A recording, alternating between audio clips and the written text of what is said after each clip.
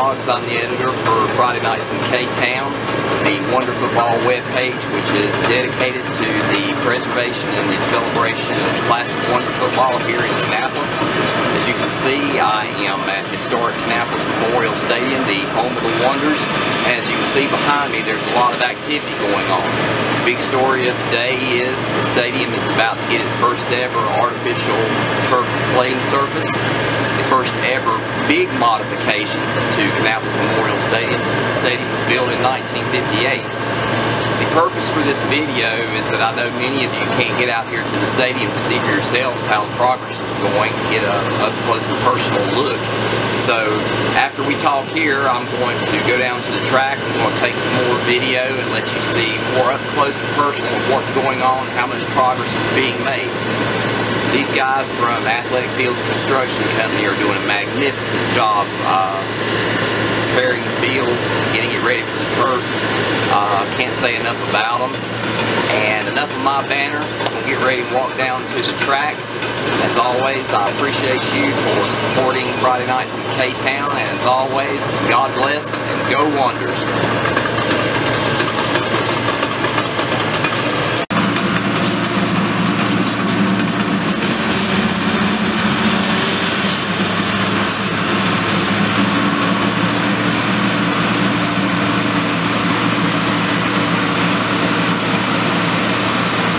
Down on the track right now, and as you can see, the bulldozer is uh, spreading out the first initial layer of drainage rock. All this rock has to be spread out throughout the entire field. It's getting done very well. These guys know what they're doing.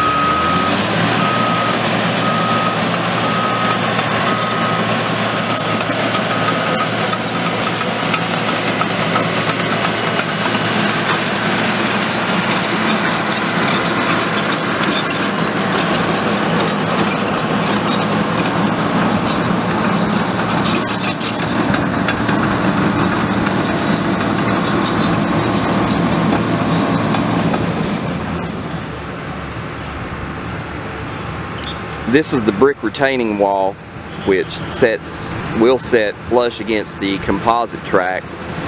That'll keep the track from shifting into the field's playing surface once it is finished.